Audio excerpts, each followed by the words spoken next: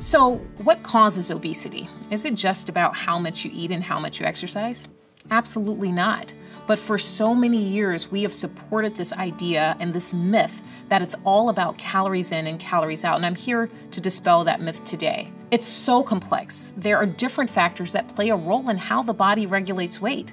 Some of the contributors to obesity include disordered eating, age related changes, genetic and epigenetic factors, smoking cessation, sleep deficits, the gut microbiota, physical disabilities, maternal and paternal obesity, increased sedentary time.